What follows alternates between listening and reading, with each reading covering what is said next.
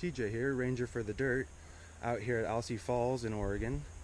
And from time to time, I am lucky enough to test out different equipment here from different companies from around the U.S.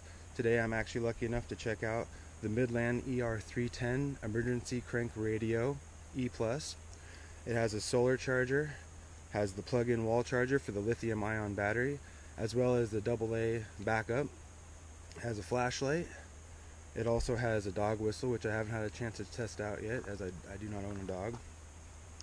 It has the antenna that actually hides inside of it and is fully adjustable.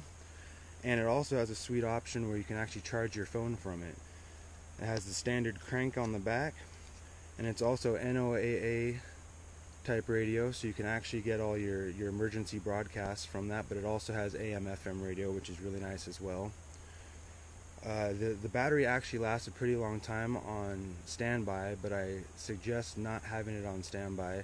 Just unplug the battery while you're not using it. But as you can see, it charges my phone. I'm actually doing it right now. Charges great.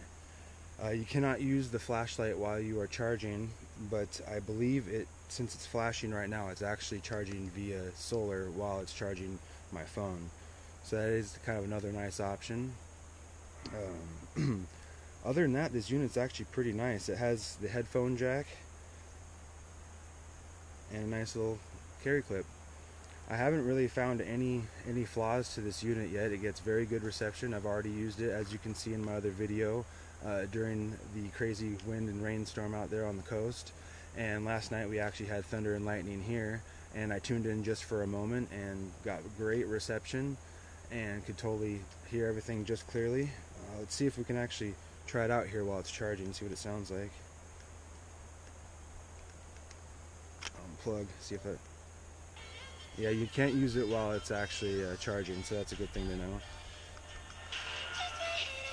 But not too bad. For being out in the middle of nowhere, it's actually pretty decent reception and pretty decent sound. It's only about halfway volume. Of course, it didn't have a good song for you to listen to, but I'm no critic when it comes to that.